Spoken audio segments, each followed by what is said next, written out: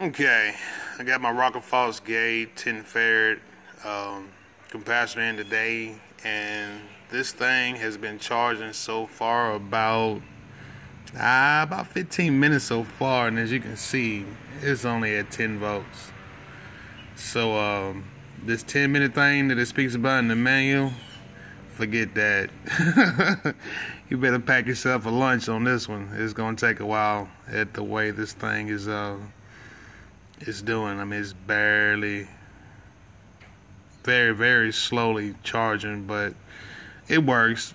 But other than that, though, I mean, as far as the, you know, the green light and everything, I don't know if you can see this or not, but it's on.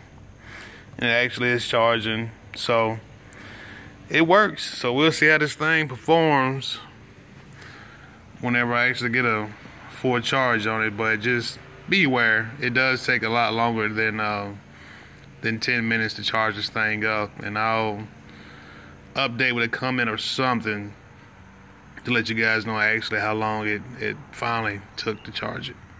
Peace.